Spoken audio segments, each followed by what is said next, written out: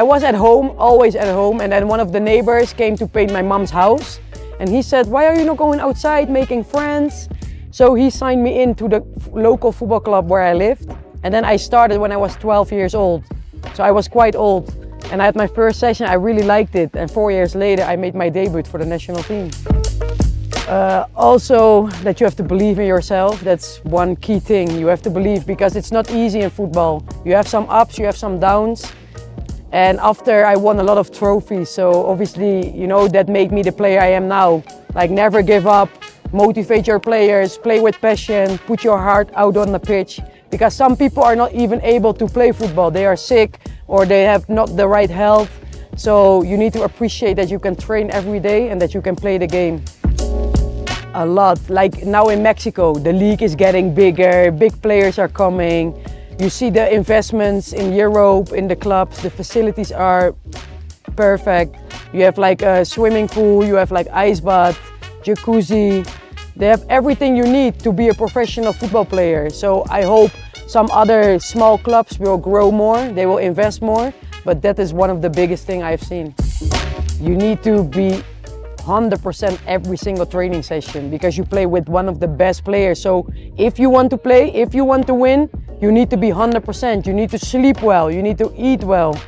If you have a bad day, you maybe need to meditate, but when you go to bed, make sure you write the positive things down from the day because there's always one positive thing on your day that you can remember.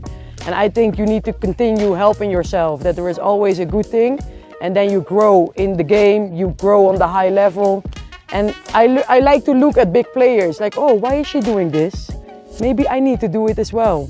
Or I ask questions like, what is the reason that you are as big as you are? Can you explain me? So, you know, don't be scared to ask big players the questions. I spoke with Miro van Dongen, she played for Rayadas. I say, Miro, how is it in Mexico? She said the league is good, it's getting better.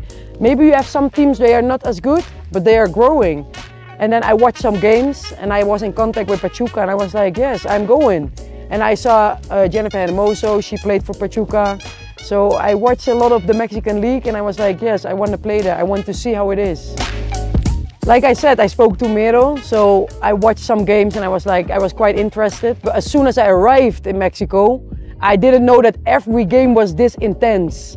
Yes. The games are good, it's very intense. So I didn't expect that. I thought the level will be a little bit lower, but it's higher than I thought. So I'm actually really, really happy.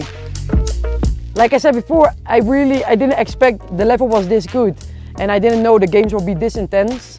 So no, I'm very surprised and I'm very happy. So I think it's a very good decision I came to Mexico. On the field, it was quite hard because in Europe we have two days off in the week and here you train every day. So for me, I had to adjust to that. But now I know how it is, you know, I feel I get stronger, I, I feel fitter.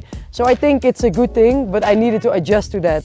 And off the pitch, yeah, I, I don't know. I like the I like the country. I like Pachuca. People say, oh, there is nothing to do in Pachuca, but the mountains. When I wake up, I drive to my to Pachuca to the club.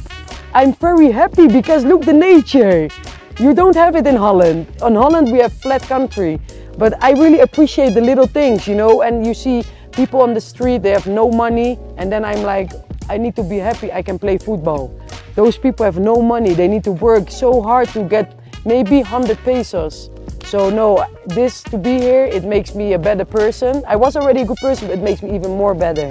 So I'm really happy to be a part of Mexico now.